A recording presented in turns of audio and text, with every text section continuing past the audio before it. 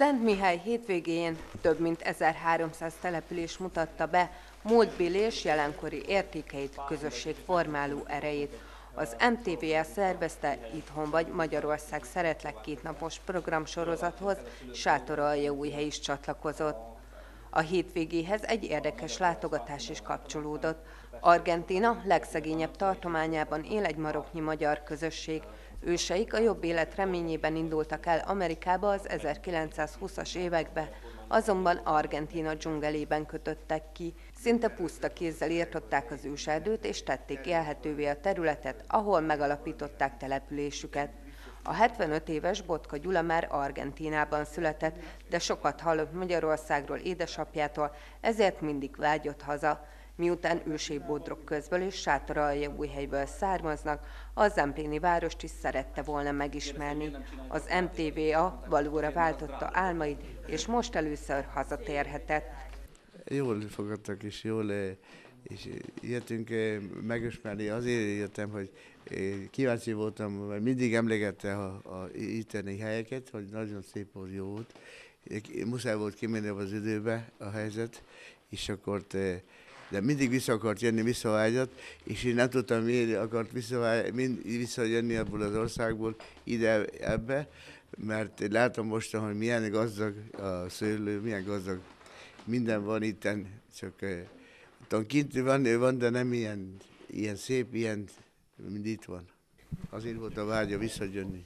Mennyire nehéz Argentinában magyarnak lenni, megőrizni a magyar hagyományokat? Kicsit nehéz, de kimennek ezek a, küldtek ki tanítót innen Magyarországról, és akkor az a gyerek nagyon összehozja a magyarokat, és taníti magyarul, és akkor mi is van egyesületünk, és azt támogassuk mindig tagokkal. Én vagyok ottan alelnök, az öcsém is elnök ottan a egyesületbe, és összejövünk, mert ételeket csinálunk, magyar ételeket, és akkor az kíváncsi, hogy jönnek minden a népek.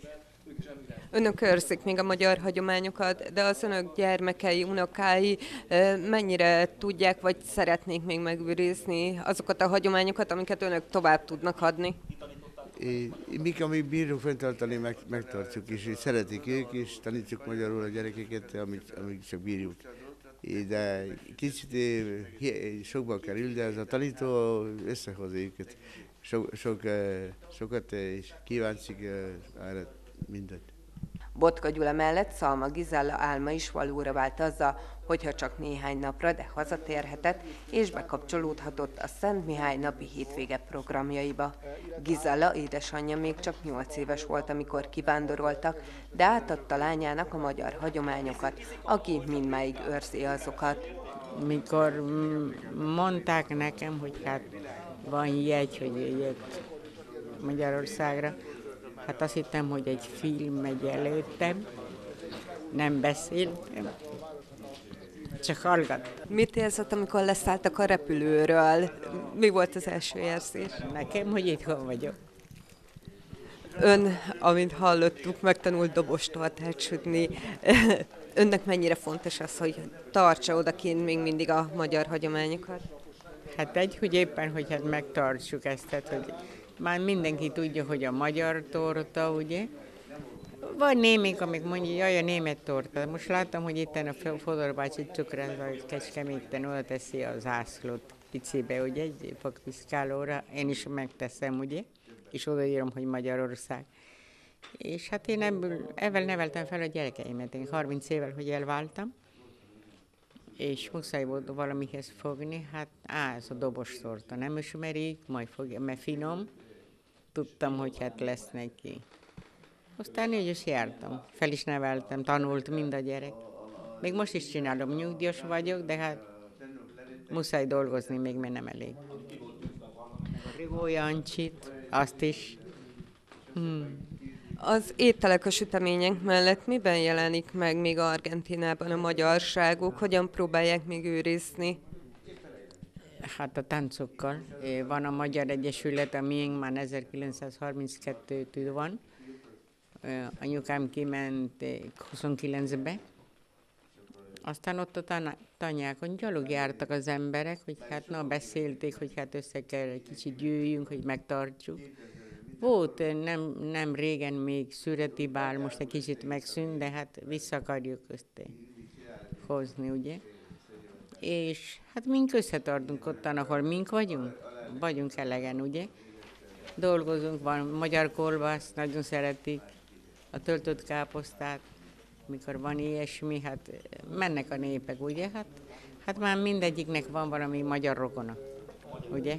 Lukács Csaba újságíró már többször járt a csákói magyar közösségnél, most pedig végig kísérte a két idős embert hazai látogatásuk során. Én magam is határon túli magyar vagyok, Székelyföldön születtem, és úgy kerültem Magyarországra, és érdekel az, hogy hol élnek még magyarok a világban.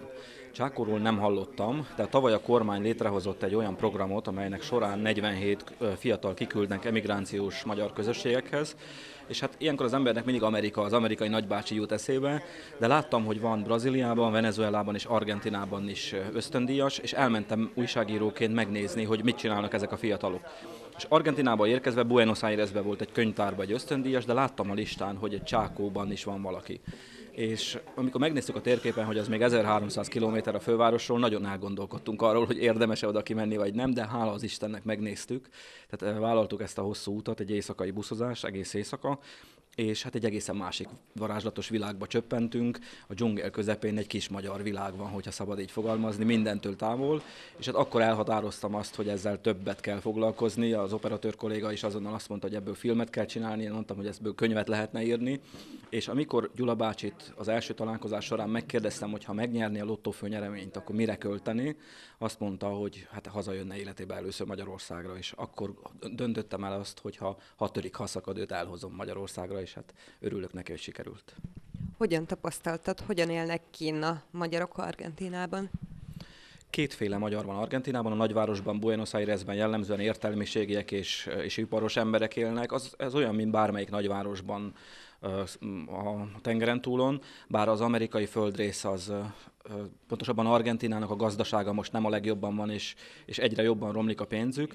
Egy egészen más történet a csákói magyarok élete. Ők jellemzően földművelésből élnek, nagyon szerint körülmények között, hiszen például az a város, Vizsa Angella, ahol a, a Szalma Gizella ér, száz évvel ezelőtt még nem létezett. Ez egy dzsungeltől elhódított terület, nagyon ki vannak szolgáltatva az időjárás viszontagságainak, nem csak azért, mert nyáron 50 fok van, télen lehet mínusz 5 is, hanem azért is, mert az időjárástól függ az életük. Ha rossz a termés, akkor nincs amit enni. Ez egy nagyon szegény vidék, Argentinának talán a legszegényebb vidéke, és nagyon egyszerű, de annál szeretetre magyarok élnek ott másokkal egyetemben. Ahogy hallhattuk az előbbi beszélgetés során, egy iskolát is létrehoztak ott, azért, hogy a fiatalok is megtanuljanak magyarul. Az idősebbek mennyire tartják fontosnak azt, hogy a fiatalok is őrizzék még a magyar hagyományokat, és ti, mint újságírók, mennyire tartjátok ezt fontosnak? Hát én úgy gondolom, hogy nagyon fontos lenne a fiataloknak, hogy megtanuljanak magyarul, és hál' Istennek ezt most már a csákai magyarok is érzik ők spanyol kultúrában nőttek föl, Magyarország egy távoli ország, tudták ugyan, hogy magyarok a gyökereik, de eddig nem volt fontos. Amikor elindult ez a tánccsoport, a Csákai Magyar Fiatalok Tánccsoport, és ők életükben először eljuthattak Magyarországra, és megláthatták, hogy egy mennyire jó ország és mennyire szép ország, most kezd fontos lenni nekik is a magyar nyelv. És nem utolsó sorban az állampolgárság megszerzésének a lehetősége, egy európai útlevél Argentinában is érték, tehát nagyon sokan kezdtek azon gondolkodni, hogy kik is voltak az őseim, hol, hol is van az a Magyarország, és egyre többen fontosnak tartják, hogy a nagyszüleik nyelvét megtanulják. Én úgy gondolom, hogy ha tudnak magyarul, akkor egy, az egy másik ember. Szokták azt mondani, aki ahány nyelvet beszél, annyi ember, és most már Magyarországnak jó híre van Csákóban, és hát nekünk meg fontos az, hogy megmaradjon az a magyar közösség, amely száz éve működik. Nevet nem mondj sehogy semmi ismerik, Nevetve mondj nemet, ha kérdezik.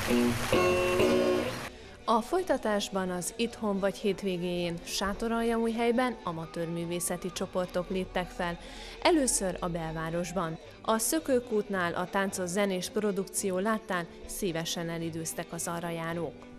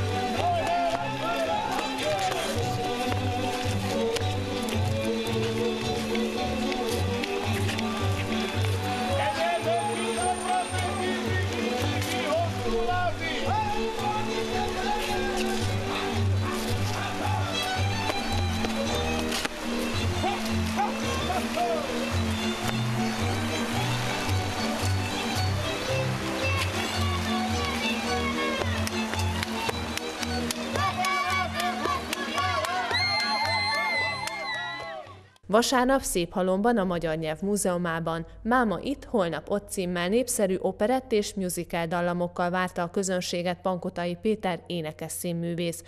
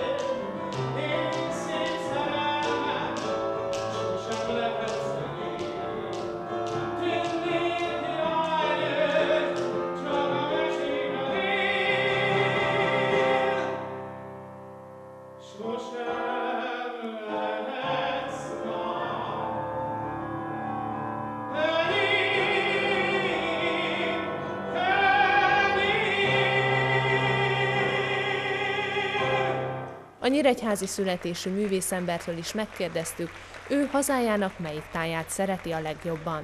Általában a szülőföldjét ajánlja az ember, nincs ez másképp. Nyíregyházán töltöttem a gyerekkoromat, ott nőttem föl, a szívem ma is visszahúz, és a tehetem azért e, gyakran járok haza, hát gyakran, szóval ha havi egyszer, az már nagyon jó, édesanyám a mai napig ott él, de meg kell, hogy mondjam, hogy alföldi gyerek vagyok, de imádom a hegyeket. Tehát a Zemlén gyönyörű, és nagyon örülök, hogy végre nem csak mint turista, mert azért jó párszor jártam már errefelé, hanem most, mint a saját műsorommal is felléphettem itt, ezen a gyönyörű helyem. Én budapesti vagyok, de én is nagyon szeretem a hegyeket Péterrel egyetemben. Pont, pont erről beszéltünk, amikor jöttünk erre fel, hogy milyen szép ö, helyek vannak itt, és milyen, milyen gyönyörű hegyek vannak. Pont, pont ezt beszéltük.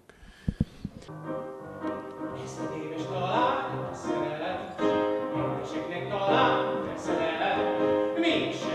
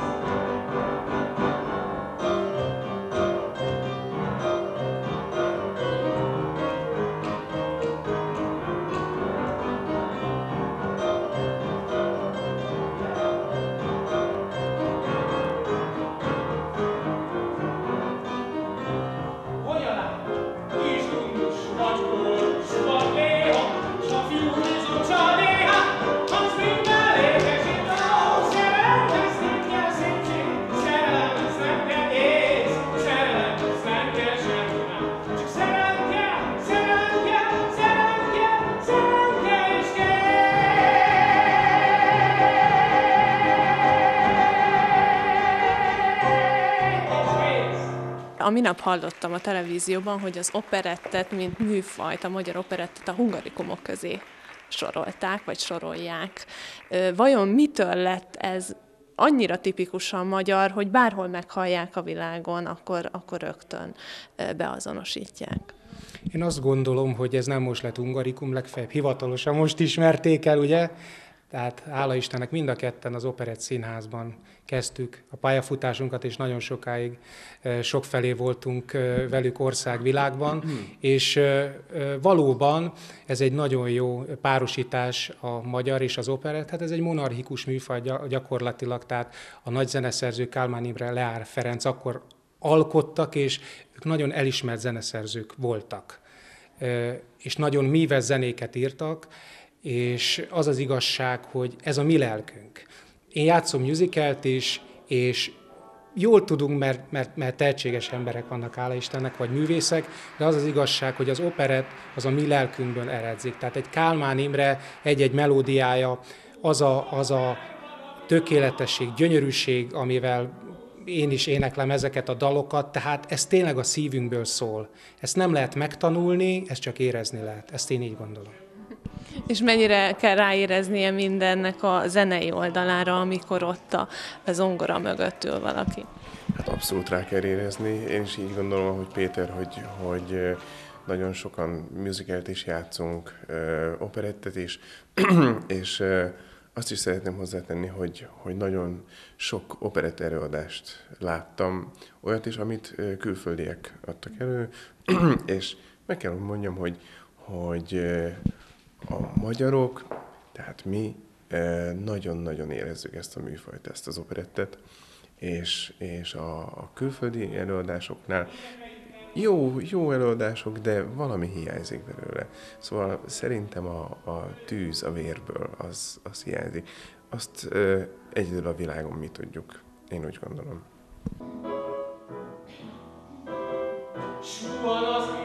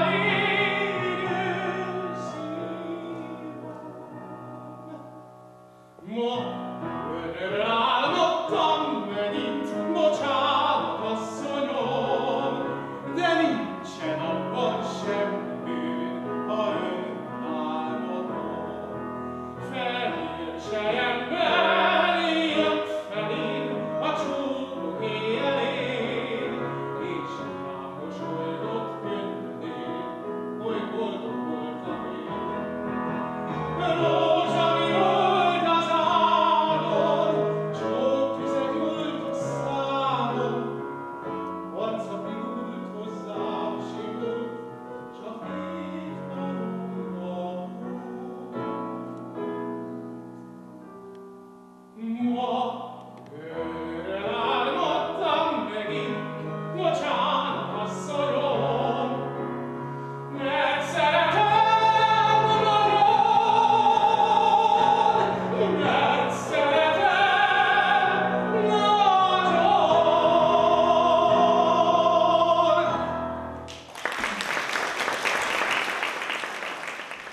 És ha már a Magyar Nyelv Múzeumában vagyunk, akkor figyelve a szövegeket, és akár most is.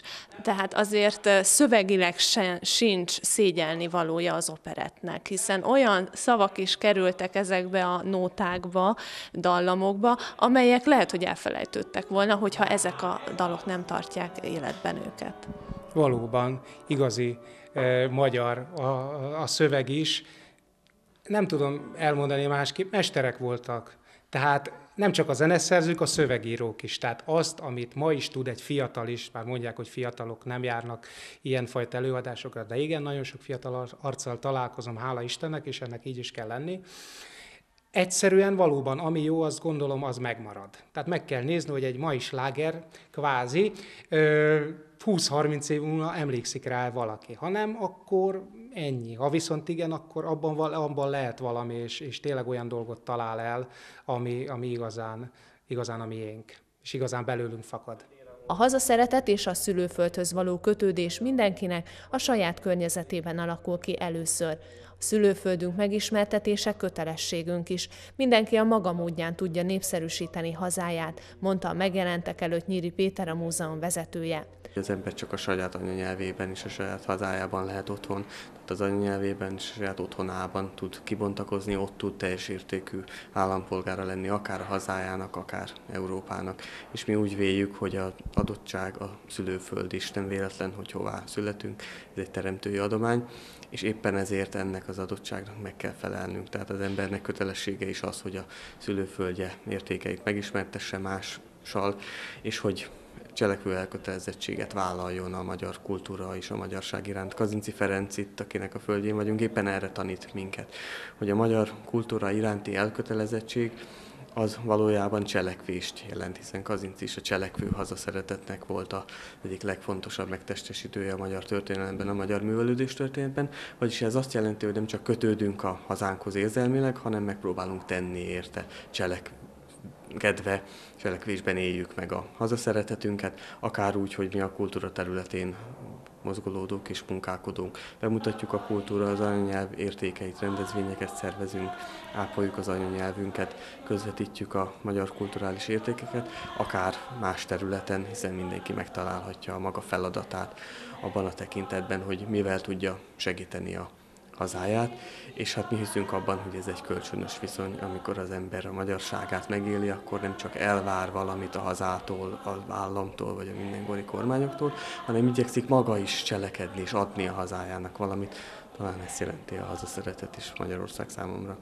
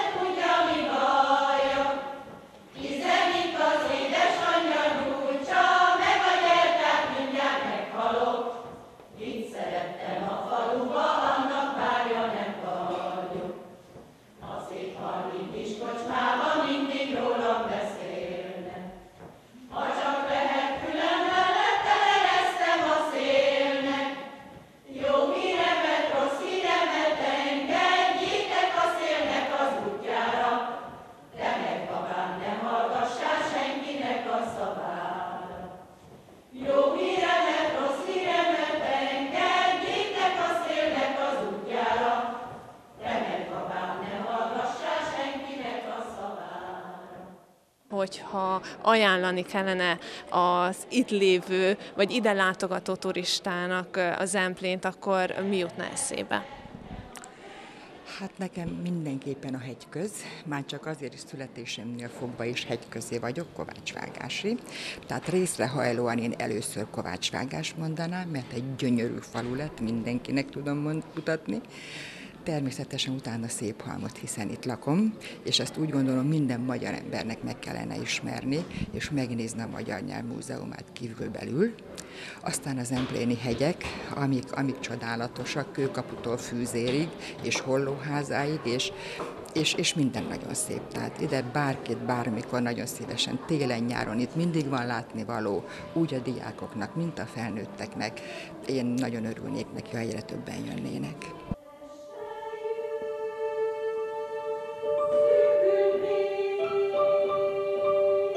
Thank.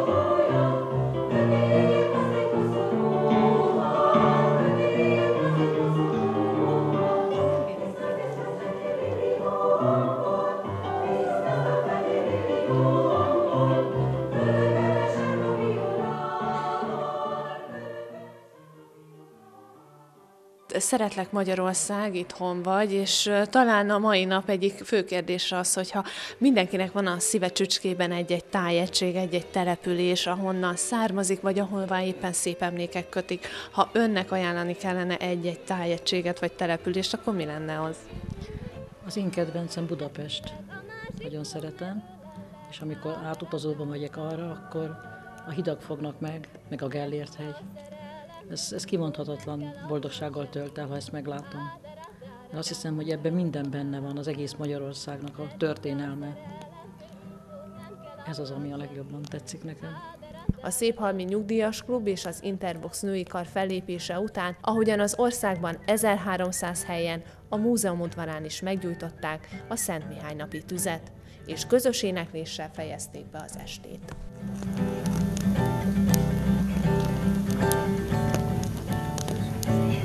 Magasságról foly a víz, magasságról foly a víz, rózsám bennem már, de víz, da da da da da.